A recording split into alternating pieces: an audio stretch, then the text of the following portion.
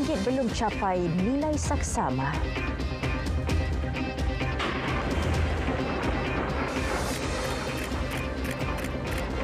Assalamualaikum, salam Malaysia Madani. Ringgit belum mencapai nilai saksama walaupun mencatatkan peningkatan berbanding dolar Amerika Syarikat baru-baru ini dan muncul sebagai mata wang berprestasi terbaik di Asia Tenggara.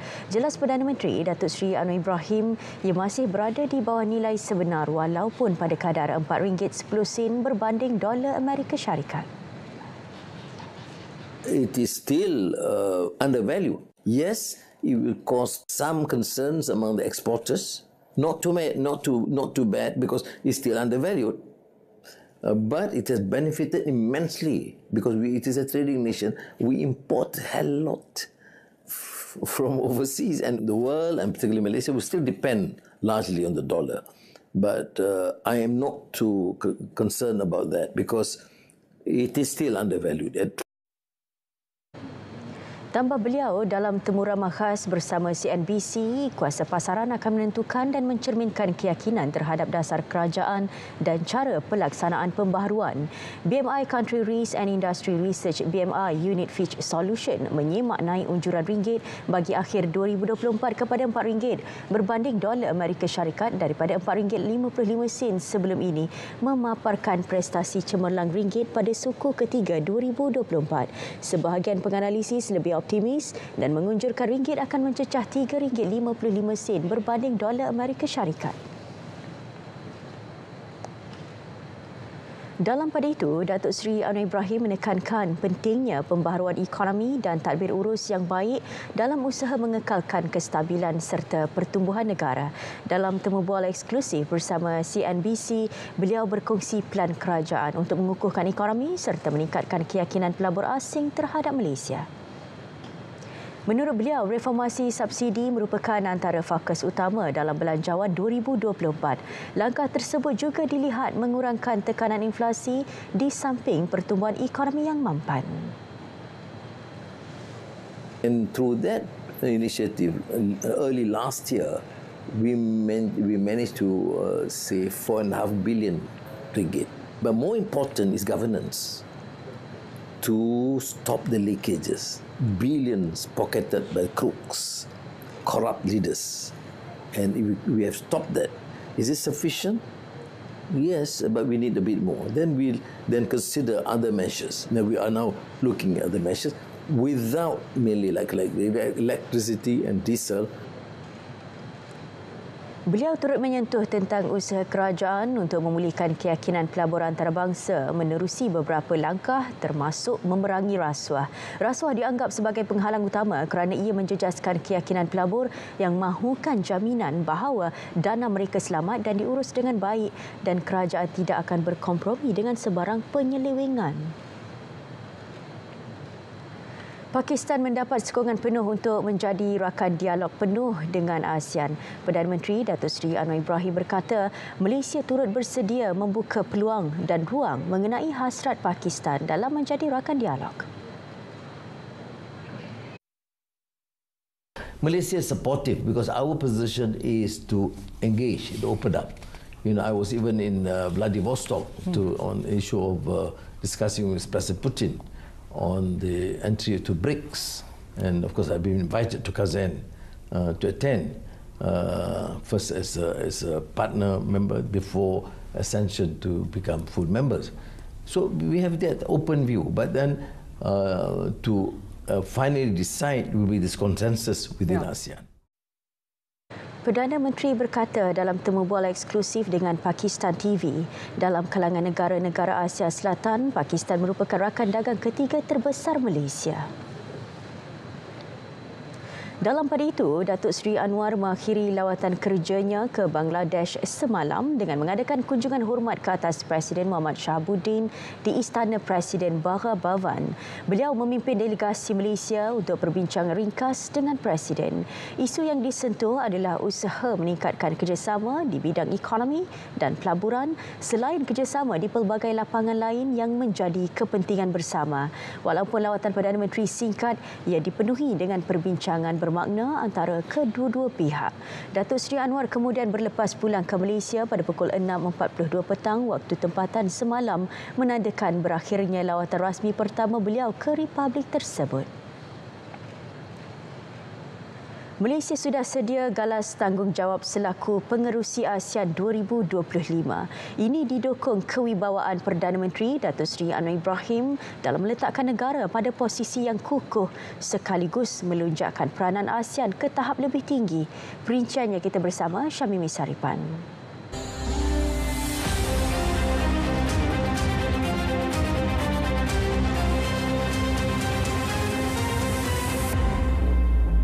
Baton kepengurusian ASEAN 2025 akan diserahkan Laos kepada Malaysia minggu depan.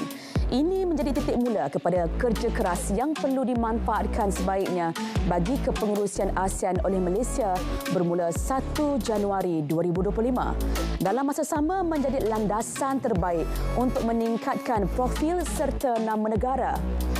Tiga tonggak utama digariskan bagi ASEAN 2025 merangkumi keselamatan dan politik, ekonomi dan sosio budaya.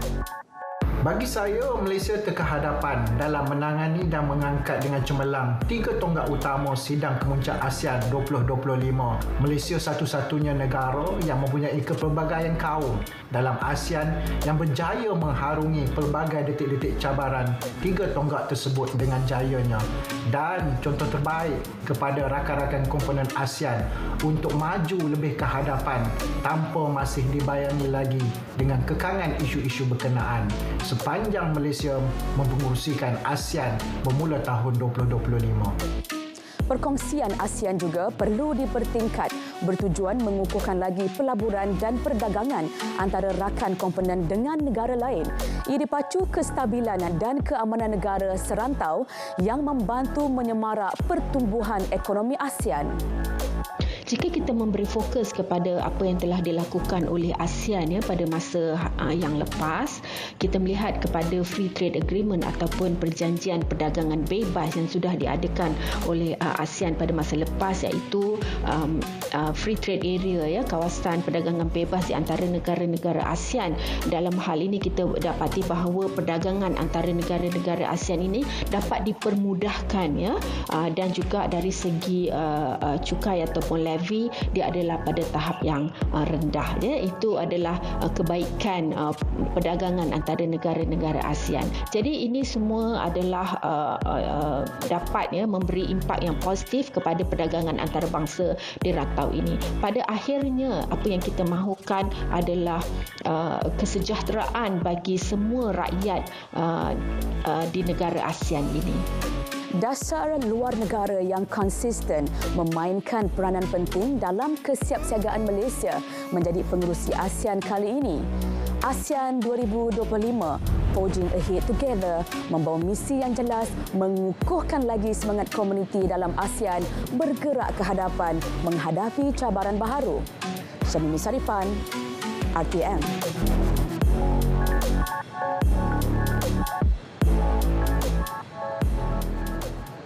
Beralih ke perkembangan banjir.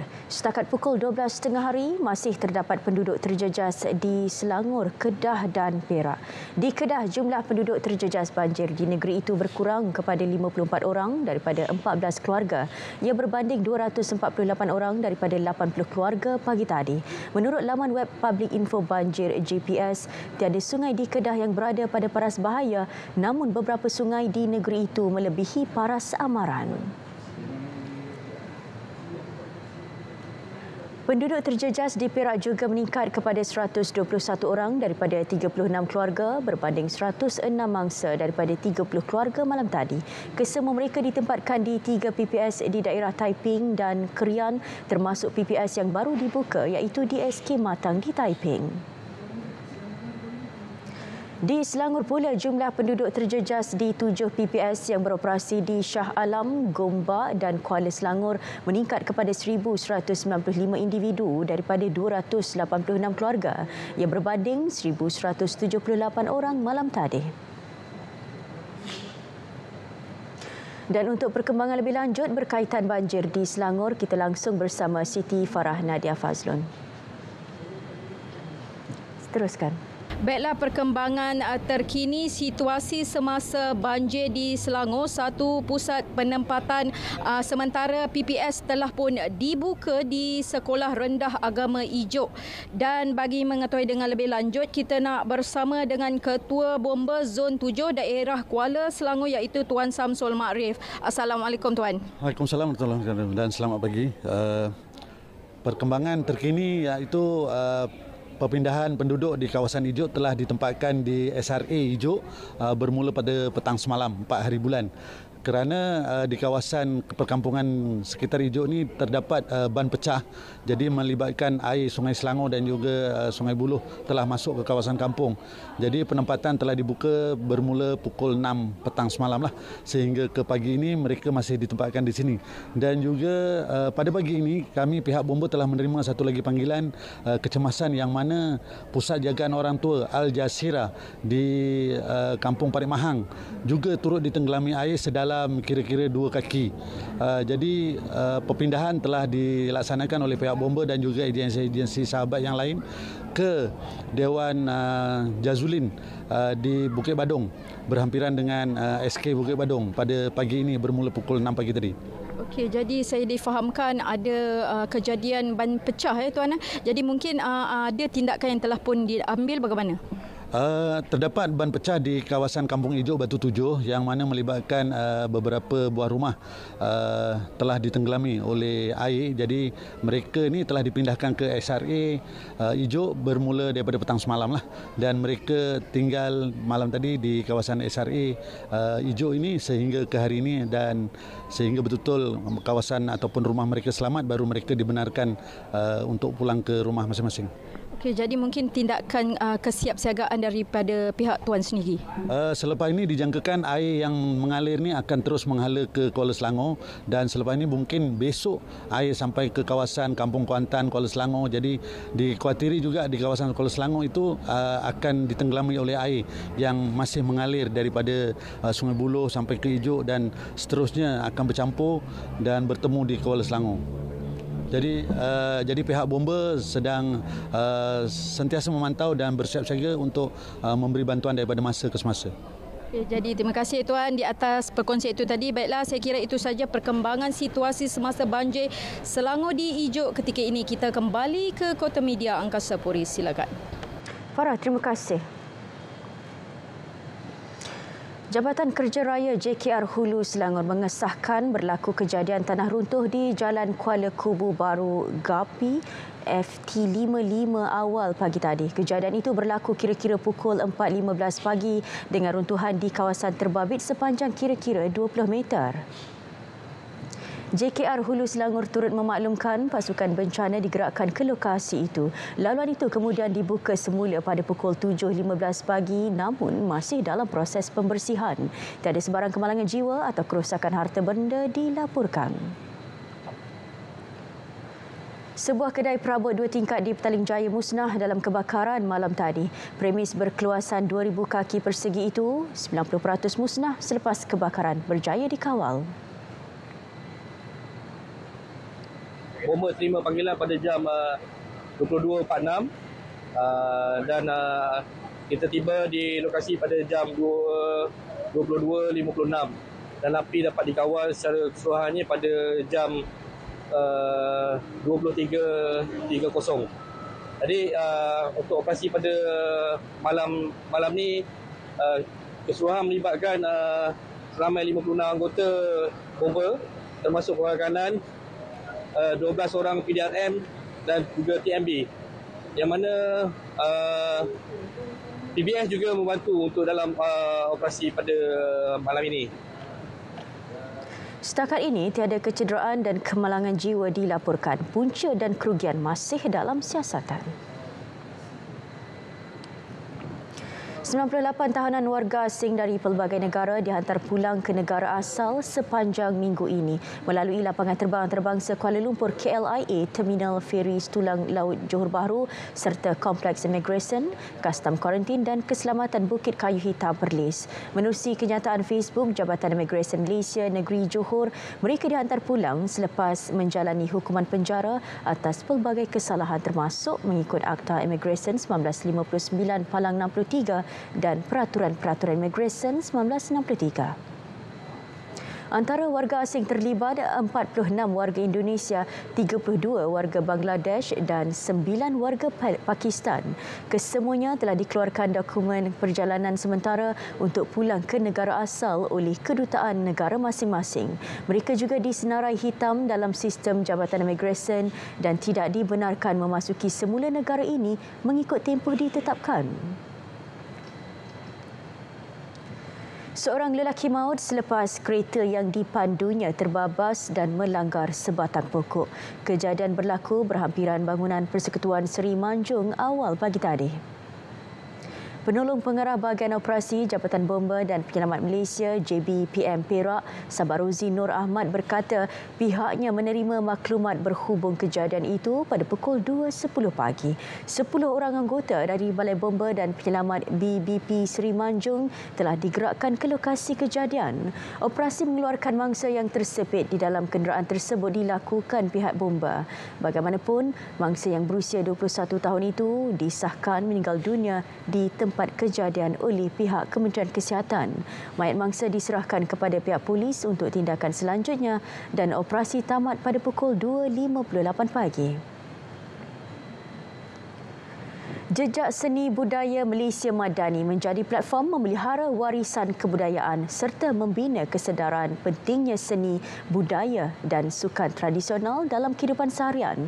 Penganjuran yang diadakan pada 27 hingga 29 September lalu itu menekankan keharmonian sosial dan identiti kebangsaan melalui seni, budaya dan warisan. Timbalan Pengerusi Persatuan Pengurusan Acara Budaya dan Warisan Malaysia, Nur Zaili Hasjadi memaklumkan program tersebut mendapat kerjasama Kementerian Pelancongan Seni dan Budaya Malaysia. Acara turut mensasarkan penglibatan aktif golongan belia sebagai pelapis seni dan budaya Malaysia.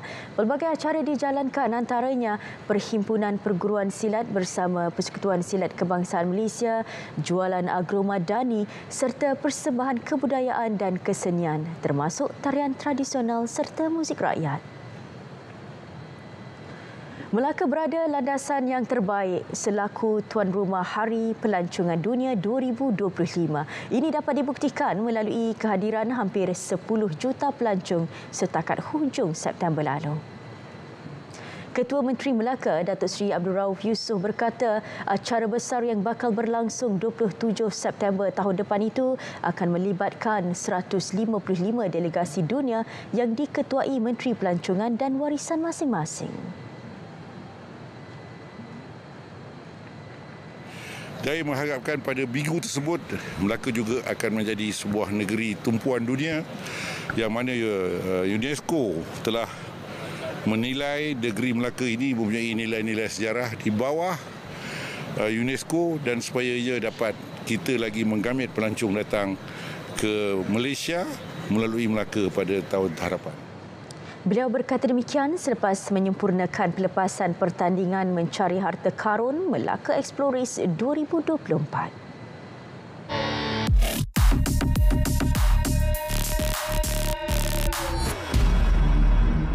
Kecoh dengan pelantikan Ketua Dasar Awam TikTok Malaysia sebagai Ketua Pegawai Eksekutif MDEC Baharu. Dipercayai hanya kerana miliki nama bapa sama, seorang pempengaruh pembangkang cuba kaitkan pelantikan itu dengan Menteri Komunikasi turut dikaitkan pengaruh menteri terhadap individu berkenaan dalam menapis kandungan TikToknya yang didakwa diturunkan. Bagi mengelak dikecam, penafian diletak dalam muat naik berkenaan. Kononnya, ia hanya satira. Semakan pasukan biar betul mendapati kandungan muat naik itu tak benar. bukan setakat satu fakta yang salah, sebaliknya beberapa lagi kisah dongeng dimuatkan dalam hantaran sama. Realitinya, Menteri Komunikasi dan CEO MDEC baharu itu bukan adik-beradik. MDEC juga bukan agensi di bawah Kementerian Komunikasi turut tiada kena mengena penurunan kandungan TikTok tukang tuduh.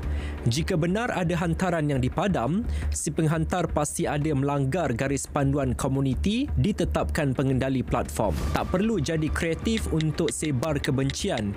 Biar apa pun kaedahnya, penyebaran naratif seumpama adalah tak bermoral terima bahan fitnah atau disyaki tidak betul, segera lapor ke MCMC. Biar betul, tak pasti, jangan kongsi. Thank you.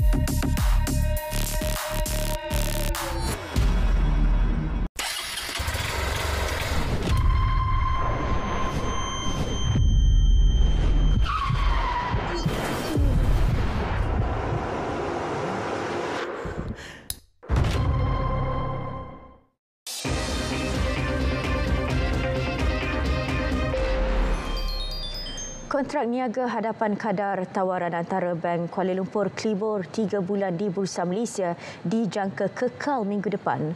Kontrak itu tidak didagangkan pada minggu yang baru berakhir dengan kedua-dua volume dan kepentingan terbuka kekal sifar. Kontrak bulan sementara untuk Oktober 2024 serta November 2024, Disember 2024 dan Mac 2025 kekal tidak berubah pada 96.45. Untuk minggu yang baru berakhir, pendasar Klibor 3 bulan berada pada 3.56%. Manakala kontrak niaga hadapan FTSE Bursa Malaysia KLCI, FBM KLCI di Bursa Malaysia Derivatif pula dijangka bergerak sejajar dengan kadar asas pasaran tunai ramai minggu depan. FBM KLCI dijangka bergerak dalam julat paras sokongan dan halangan dengan pandangan berhati-hati terhadap pasaran tempatan disebabkan sentimen yang masih lemah buat sementara waktu dan ringgit dijangka kekal pada paras 4.21 hingga 4.22 berbanding dolar Amerika minggu depan. Pengekalan itu dengan kecenderungan meningkat terhadap dolar Amerika selepas data senarai gaji bukan ladang NFP Amerika Syarikat bagi September meningkat.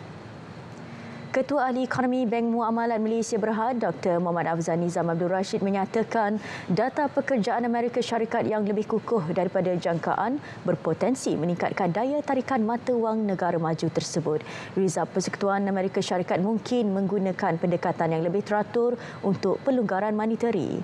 Laporan NFP yang positif diumumkan pada Jumaat mencerminkan kekuatan pasaran buruh Amerika Syarikat membolehkan Rizab itu menaikkan kadar faedah faedah secara berperingkat. Laporan tersebut juga menunjukkan kadar pengangguran negara maju itu menurun kepada 4.1% daripada 4.2%. Suruhanjaya Integrity Agensi Penguatkuasaan mengendali aduan orang ramai dan menjalankan siasatan mengenai salah laku pegawai penguatkuasa dan agensi penguatkuasaan dengan tegas, telus dan efisien. Sila layari www.eaic.gov.my.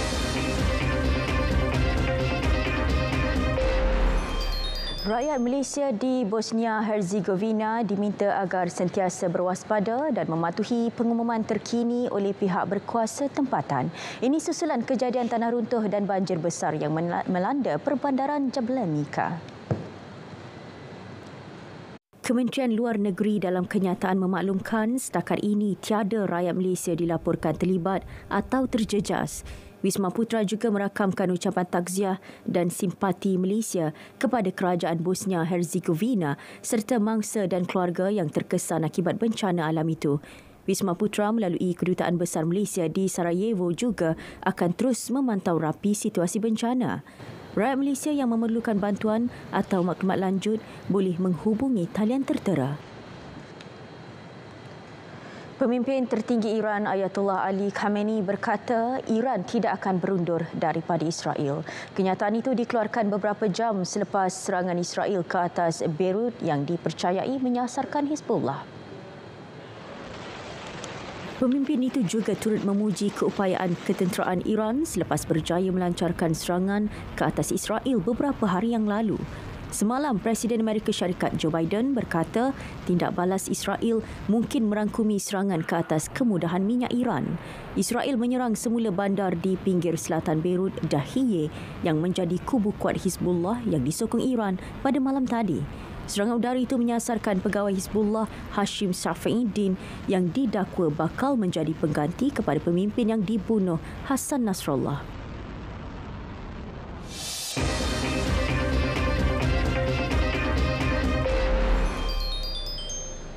Sukan kita mulakan dengan perkembangan Liga Super. Terengganu FC TFC terlepas peluang mengutip tiga mata selepas hanya mencatat keputusan seri 1-1 dengan PDRM FC di Stadium Sultan Mizan Zainal Abidin Gombada.